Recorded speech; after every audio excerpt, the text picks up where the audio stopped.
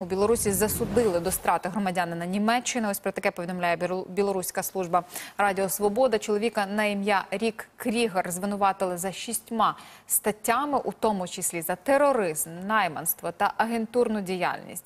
Втім, раніше Крігер був медиком у німецькому Червоному Хресті, а його справа нібито стосується полку імені Калиновського білоруського полку збройних сил України.